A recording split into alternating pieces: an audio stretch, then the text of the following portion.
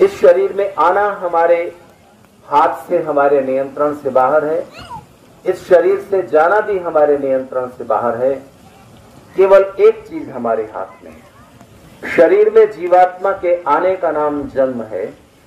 शरीर छोड़ देने का नाम मृत्यु है। आने, इस शरीर में आने और जाने के बीच की जो अवधि है, जो समय है, वो जीवन कहलाता है। शरीर में आना हमारे हाथ में नहीं। जन्म हम कहा लें, कैसे शरीर में लें, ये हमारे हाथ में नहीं। मृत्यु हमारे हाथ में नहीं। आने और जाने के बीच का जो समय है, वो हम किस तरह गुजारेंगे, वो हमारे हाथ में है। अगर कोई 102 वर्ष तक जीना चाहे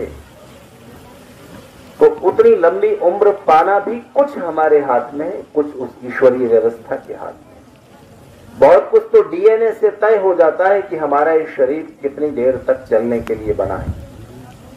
फिर उस शरीर को हम अच्छे खान पान अच्छे भोजन, संयम, व्यायाम इत्यादि के द्वारा उस शरीर की स्थिरता कुछ समय तक और बढ़ा सकते हैं। और उल्टा सीधा खान पान करके तंबाकू, शराब इत्यादि दुर्व्यसनों में फंसकर उम्र कम भी कर सकते हैं। सब की इच्छा और कोशिश करना लेकिन अगर सक्रिय न रह सको तो जीने की कोशिश छोड़ो, इच्छा भी मत करना। कुरवन्ने वेह कर्माणी जिजी विषेद छतन समाह। सौ वर्ष और उससे भी ज़्यादा समय तक जियो, प्रयास करो, इच्छा भी करो, पर सक्रिय रहते हुए एक्टिव रहते हुए। अगर एक्टिव न रहा जा सके, सक्रिय न रहा जा सके तो जीने का अर्थ क्या है? इसलिए जब हम परमेश्वर से आयु की प्रार्थना करते हैं तो ध्यान रखना चाहिए, आयु और उम्र में अंतर है। उम्र सिर्फ़ जीवन की लंबाई को कहते हैं। पर आयु का मतलब कुछ और भी है। आयु का मतलब लंबा जीवन। लेकिन अगर लंबा जीवन हो और शरीर स्वस्थ न रहे, तब हम सक्रिय नहीं रह पाएँगे। इसलिए उस लंबे जीवन का मतलब क्या? बीमारी के साथ लंबे समय तक जीते रहें। लंबा जीवन स्वस्थ शरीर के साथ। पर कोई व्यक्ति स्वस्थ शरीर के साथ लंबे समय तक, लंबी उम्र तक जीता रहे, पर जीवन में कुछ अचीवमेंट्स न हो, कुछ कार्य न हो, कुछ उपलब्धि न हो, कुछ सुख न हो, कुछ सौभाग्य न हो तो भी उस लंबे और स्वस्थ जीवन का कुछ अर्थ नहीं निकलेगा। इसलिए जब भी आयु की प्रार्थना करें तो उसके साथ तीन चीज़ें होती हैं। लंबी उम्र, स्वस्थ शरीर और जीवन की उपलब्धियाँ, सुख और सौभाग्य। आदरणीय बाबूजी जिनको बहुत लोग बाबूजी सम्मान के साथ बोला करते थे। 102 वर्ष की आयु जी करके गए। और आखिर के कुछ दिनों को छोड़कर जिस समय में वो डॉक्टर सुनील जी के पास रहे हैं, वैसे तो परिवार के सब लोगों ने उनकी सेवा में और शुश्रूषा में कोई कसर नहीं रखी। ध्यान दीजिए, हमारे माता पिता का, हमारे दादा दादी नाना नानी हमारे बुज़ुर्गों का हम पर ऋण होता है। और किस बात का ऋण होता है? उन्होंने हमने, हमें अच्छा खाना पीना दिया अच्छा अच्छी सुविधाएँ दी, अच्छे पढ़ने लिखने के अवसर दिए, ये तो उनका फ़र्ज़ था। इसे भी आप ऋण मान सकते हैं। लेकिन ऋण अगर उतारना हो माता पिता का तो उसके दो तरीके होते हैं। एक, अपने जीवन की प्रगति से आप माता पिता को दादा दादी को जितनी संतुष्टि देंगे, जितनी प्रसन्नता देंगे, उतना आप उस ऋण से मुक्त हुए। लेकिन सबसे ज़्यादा ऋण मुक्त होता है बहुत लोग जीवन में बहुत प्रगति नहीं कर पाते, बहुत धन ऐश्वर्य प्राप्त नहीं कर पाते, बहुत ऊँचे पद पर नहीं पहुँच पाते।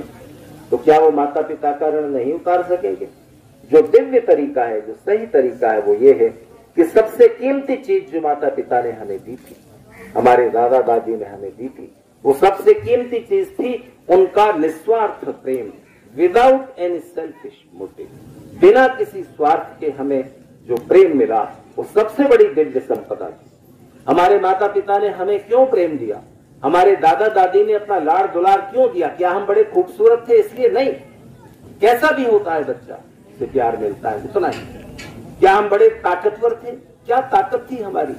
एक मच्छर काट जाता तो सिवाय रोने के हमारे पास कोई चारा नहीं होता हम कोई बहुत ताकतवर नहीं थे, बड़े ज्ञानवान नहीं थे, बड़े सुंदर नहीं थे, बड़े बलवान नहीं थे, बड़े गुणवान नहीं थे। हम जैसे भी थे, हमें प्रेम मिला।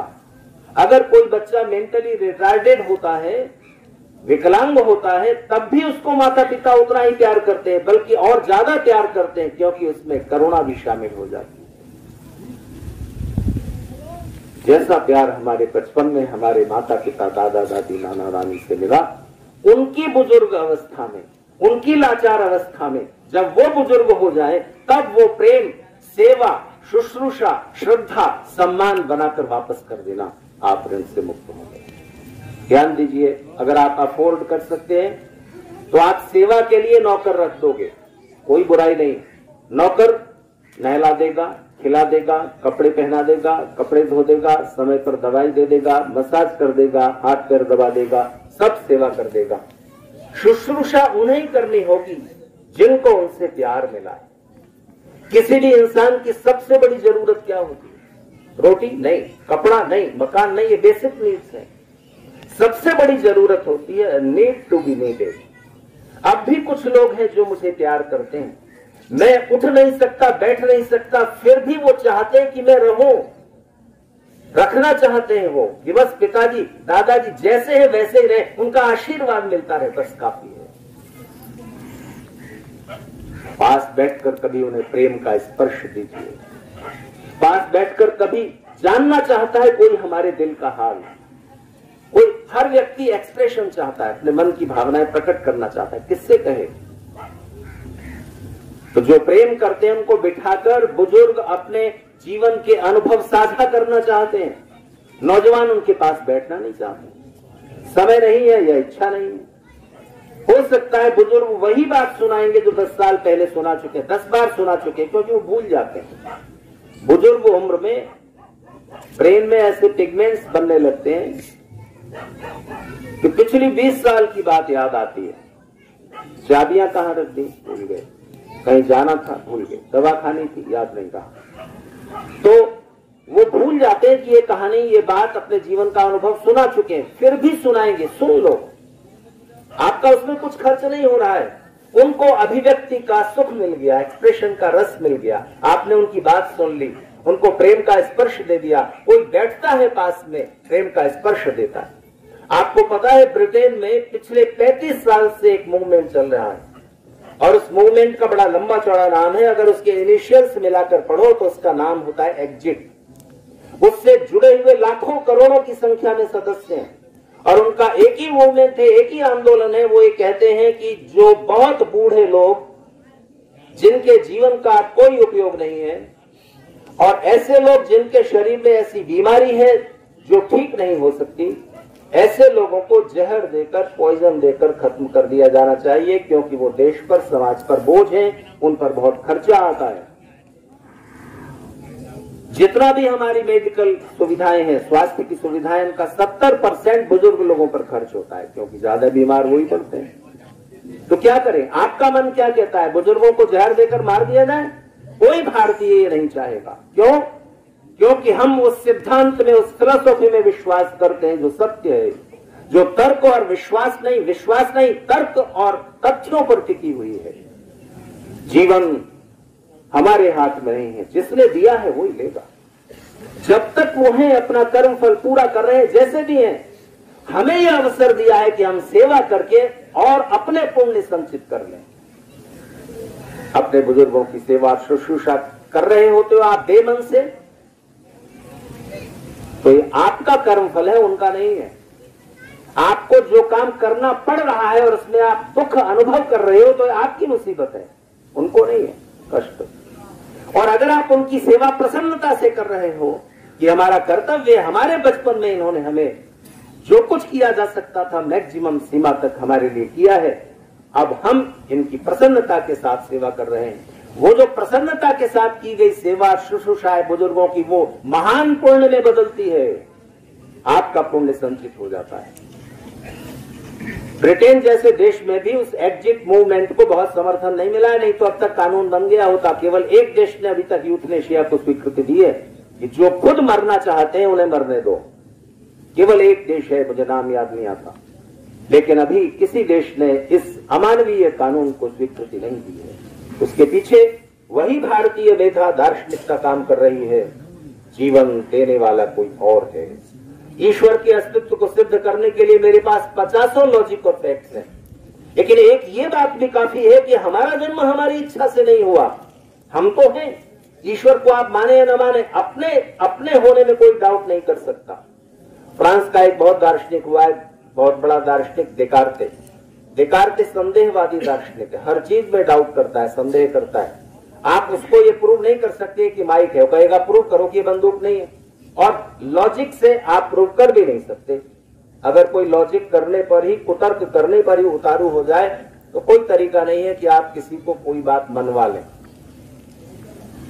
तो कहता है कि दुनिया की हर चीज़ के बारे में संदेह किया जा सकता है। ईश्वर के बारे में सबसे ज़्यादा संदेह उपस्थित करते हैं लोग। करो लेकिन बस एक पॉइंट है जहाँ संदेह करने की कोई गुंजाइश नहीं है और वो है आपका अस्तित्व। आप अपने होने में संदेह नहीं कर सकते कि पता नहीं मैं भी हूँ या नहीं हूँ। भगवान है या नहीं, आप संदेह करो।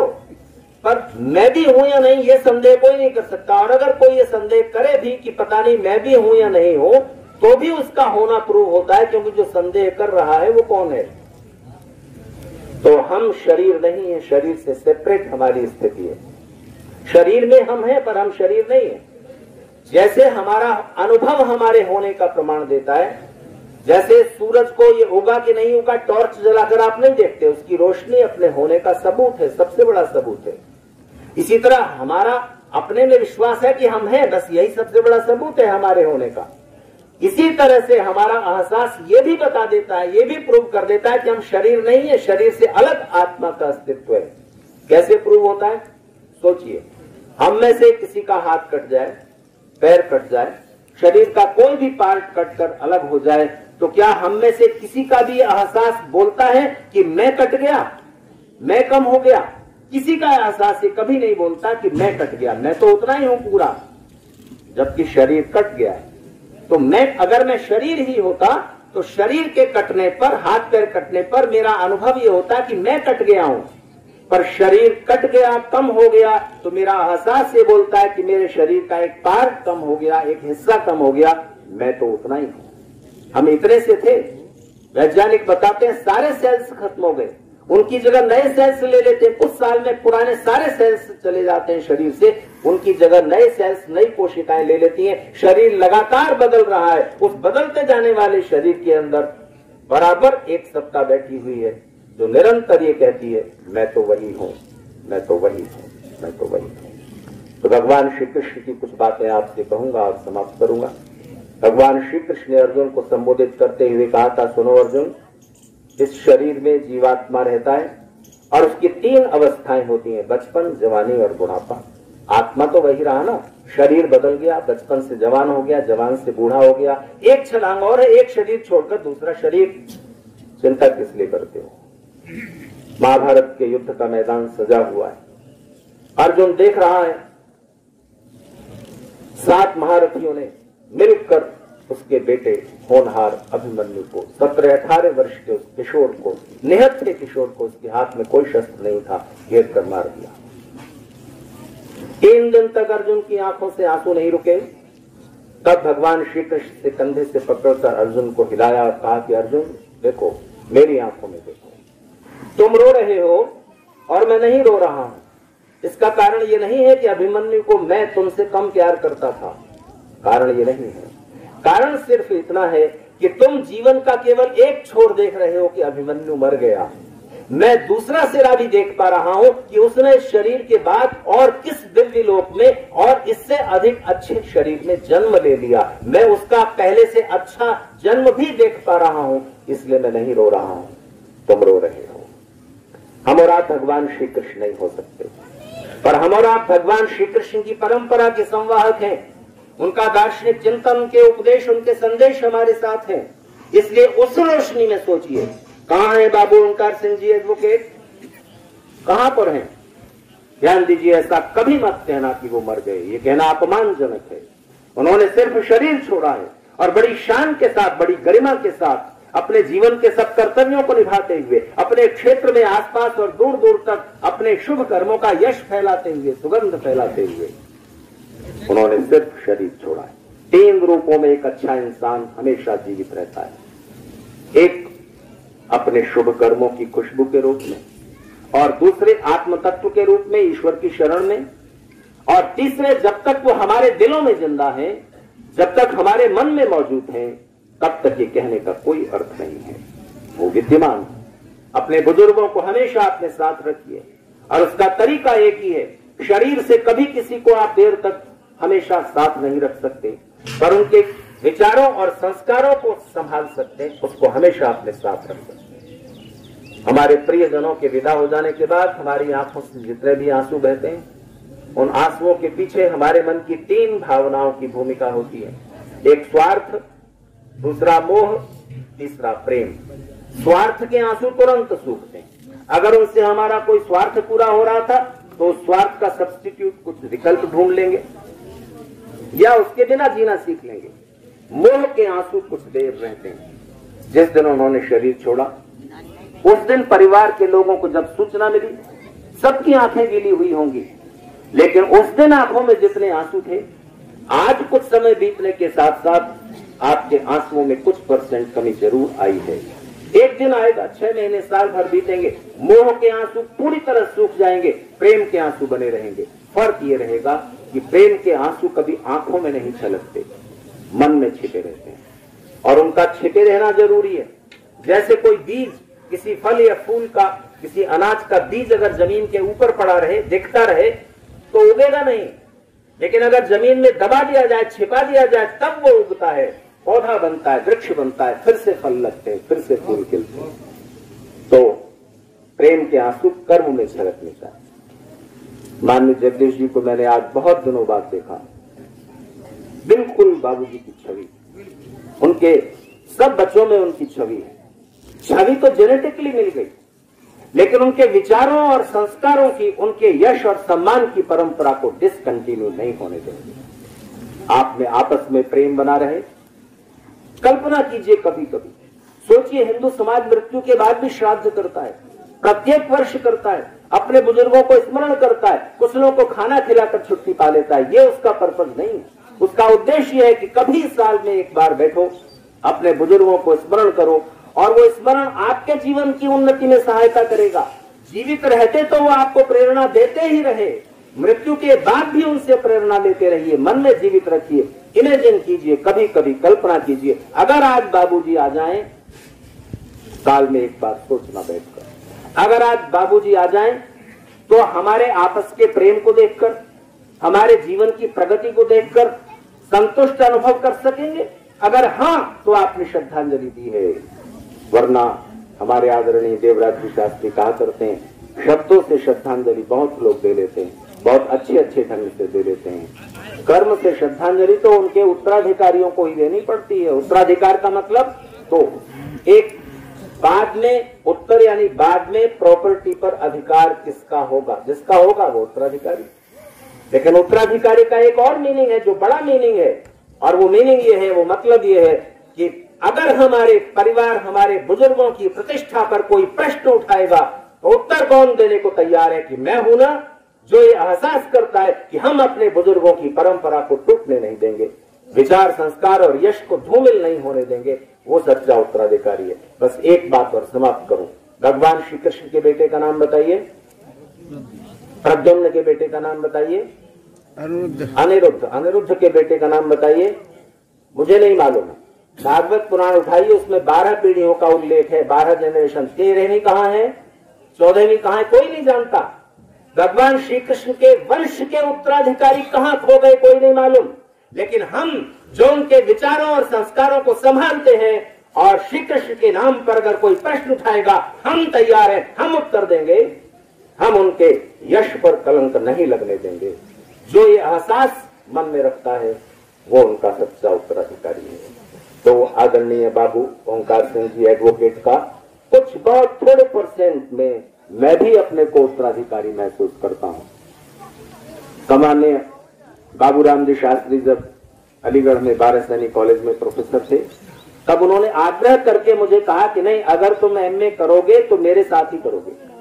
मेरे कॉलेज में करोगे वो हमारे गुरुकुल में रहे थे, जब वो पीएचडी कर रहे थे तो वहाँ की लाइब्रेरी का उन्हें इस्तेमाल करना था। और कभी कोई बहुत बहुत फिलोसॉफी और सृष्टि विद्या में रुचि रखने वाला व्यक्ति कभी सृष्टि विद्या के वास्तविक रहस्य को जानना चाहे तो डॉक्टर बाबूराम शास्त्री की किताब उससे उसको पढ़नी पड़ेगी। इंग्लिश में वैदिक कॉस्मोगनी तो उनकी प्रेरणाएँ मुझे भी प्राप्त होती रही। और आपको मैं एक निजी बात आपसे शेयर करना चाहूँगा। वो मुझे आचार्य जी नहीं कहते थे। मैं तो उनके यानी बहुत बहुत छोटी उम्र में था। तो मुझे वागिश बाबू कहते थे। बाबू क्यों मुझे लगाते थे मुझे नहीं मालूम। ये उनके प्यार प्रकट करने का एक तरीका होगा।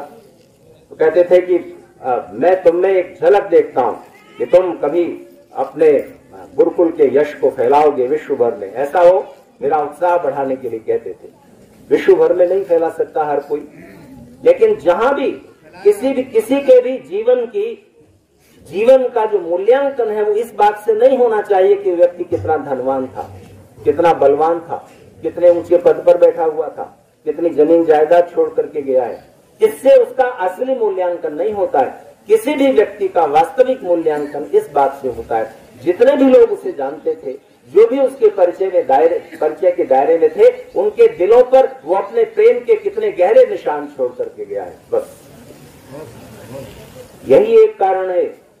लंबी यात्रा करके मैं आया हूँ और फिर वापस जाऊँगा। क्योंकि मेरी समझ में और कोई मौका नहीं था कि मैं फिर उपस्थित हो सकूँ। गाँव में पहली बार आया वो ही आ जाते थे, एटा आते थे, हमारे गुरुकुल ज़रूर आते थे। अभी हमारे गुरुकुल का वर्ष को तो बहुत दिनों से नहीं हुआ। जब भी हुआ था पाँच सात वर्ष पहले तो वो आए चल करके शायद, पता नहीं, जगदीश जी साथ थे या कौन साथ में थे तो मेरे घर पर भी आए। और बड़ी देर बैठे, बातचीत की, बस वो मेरी उनके साथ आखिरी भेंट थी। लेकिन जैसा कि मैंने आपसे निवेदन किया, वो हम सब के हृदयों में सदा जीवित रहेंगे और अपने कर्म आचरण से उनके यश और सम्मान को निरंतरता देते हुए हम सत्य उत्तराधिकारी बने।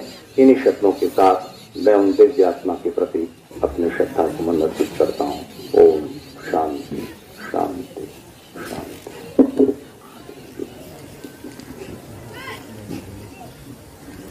आर्य जगत के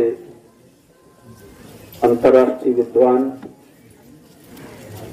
डॉक्टर वादिश कुमार जी ने इस क्षेत्र के, इस जनपद के, प्रदेश के और भारतवर्ष की शान रहे ओमकार सिंह यादव एडवोकेट को अपनी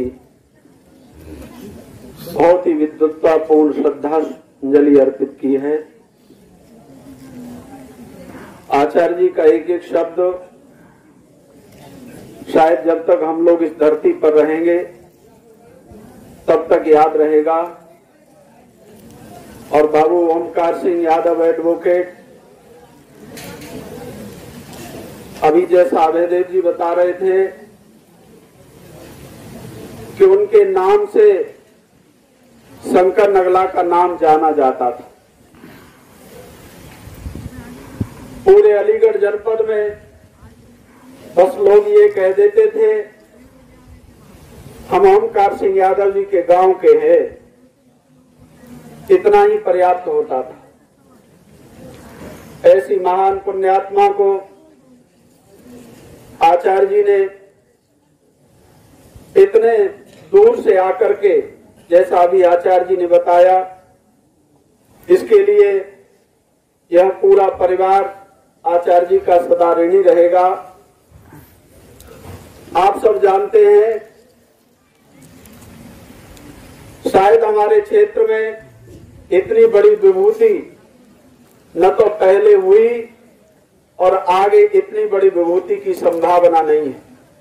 आप लोग जहाँ पर बैठे हैं, चौधरी चरण सिंह जो देश के प्रधानमंत्री रहे, वो बाबूजी के समय यहीं आकर के नाश्ता करते थे। नारायण दत्त तिवारी जो कई बार मुख्यमंत्री रहे, मुलायम सिंह यादव जी अभी भी जीवित है, कई बार मुख्यमंत्री रहे, खड़े होकर के बाबूजी को नमस्ते किया करते थे। वो स्वयं राजनीति के क्षेत्र में रहे, लेकिन उन्होंने जो सत्य का स्वरूप था उसको कभी नहीं छोड़ा। चाहे कितना ही बड़ा राजनेता हो, ओमकार सिंह यादव जी ने उसको सत्य बात ही कहनी थी। और उनके जीवन का जो छुपा हुआ सत्य था, आज आचार्य जी ने जो तीन बातें बताई हैं उत्तराधिकारी के लिए, वो वास्तव में बहुत ही प्रेरणादायक हैं। मैंने आचार्य जी को बहुत बार सुना है, लेकिन जो आज आचार्य जी ने बोला है, वो कभी नहीं सुना आचार्य जी के मुख से।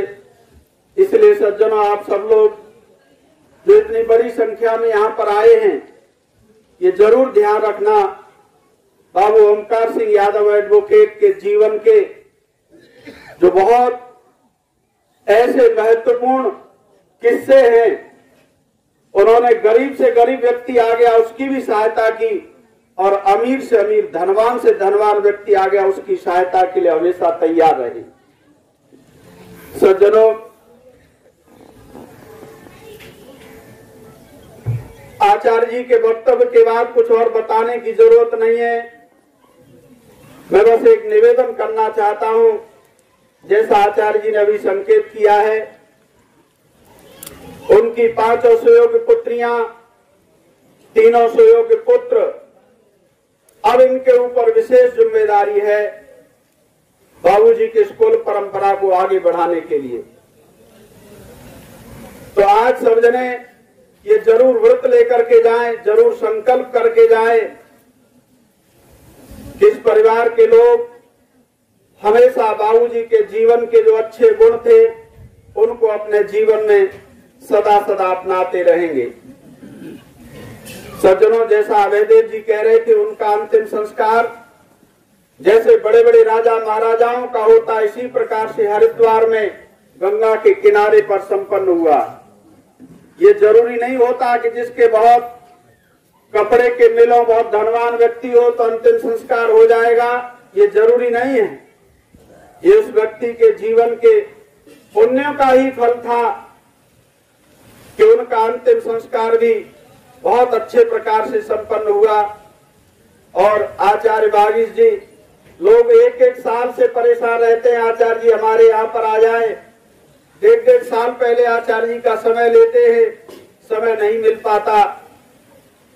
मुझे लगता है बाबू ओमकार सिंह यादव जी एडवोकेट की पुण्यों का ही प्रताप है कि आचार्य जी स्वयं यहाँ चल करके आए और स्वयं उन्होंने श्रद्धा सुमन अर्पित किए।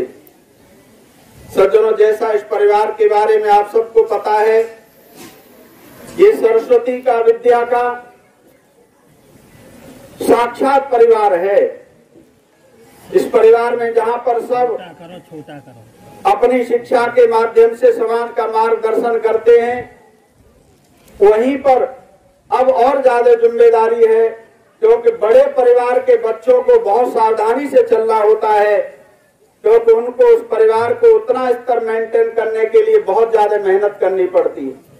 तो आज सब जने ज़रूर संकल्प लेकर के जाएँ कि हम सब दिवंगत पवित्र आत्मा ओमकार सिंह यादव एडवोकेट के जीवन से ज़रूर प्रेरणा लेंगे और उनके जीवन से प्रेरणा लेकर के अच्छे मार्ग पर ही चलने की कोशिश करेंगे।